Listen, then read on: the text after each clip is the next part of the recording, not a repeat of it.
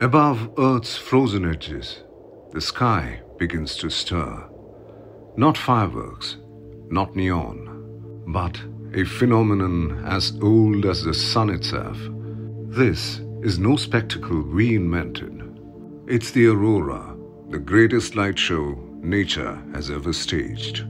The sun is constantly breathing, releasing charged particles into space. Earth's magnetic field blocks most of them but at the poles, the shield bends. Here, the particles crash into oxygen and nitrogen high above us. These collisions spark light. Oxygen glows green or crimson. Nitrogen glimmers violet and blue. Layer upon layer, they unfurl into glowing veils, shifting, stretching across thousands of kilometers. A cosmic dance written in atoms and light. To witness auroras, you need darkness, clear skies, and patience.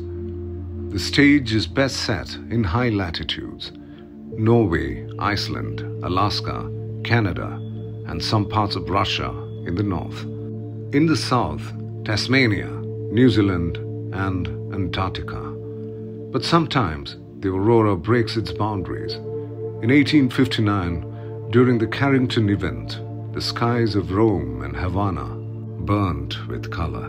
Imagine looking up from a Caribbean beach and finding the Arctic sky waiting for you. Every flicker of aurora is also a warning. Earth is being struck by solar storms. The same forces that paint the skies can disable satellites, scramble GPS, and collapse power grids. In 1989, one storm left Quebec in darkness for nine hours. What seems like silent beauty carries power enough to shake our modern world. And Earth isn't alone. Jupiter's auroras are bigger than our entire planet, powered by volcanic gases from its moon Io. Saturn's are fueled by icy sprays from Enceladus. Even Mars, with no global shield, glows with scattered patches of aurora. Wherever a magnetic field meets an atmosphere, the sky can ignite. For centuries, people turned to stories. Vikings saw reflections from the shields of fallen warriors. Inuit people believed they were the voices of ancestors. In Asia, they became the battles of dragons across the heavens. Different cultures, different meanings but always awe, always reverence.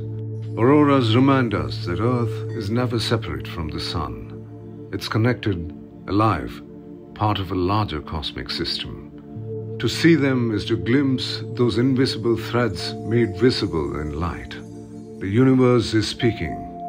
Sometimes, if we're lucky, we get to watch it glow.